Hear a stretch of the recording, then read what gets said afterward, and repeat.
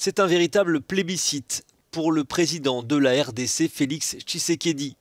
L'investiture en début de semaine du premier gouvernement de l'Union sacrée a fait un carton plein auprès des parlementaires. Sur les 500 députés, 410 ont voté en faveur de la nouvelle équipe emmenée par le Premier ministre Jean-Michel Sama Lukonde. Félix Tshisekedi dispose désormais de tous les leviers du pouvoir après avoir écarté en décembre son prédécesseur et ancien partenaire de l'ex-coalition au pouvoir, Joseph Kabila. Le président de la RDC va devoir quand même rassurer ses partenaires internationaux.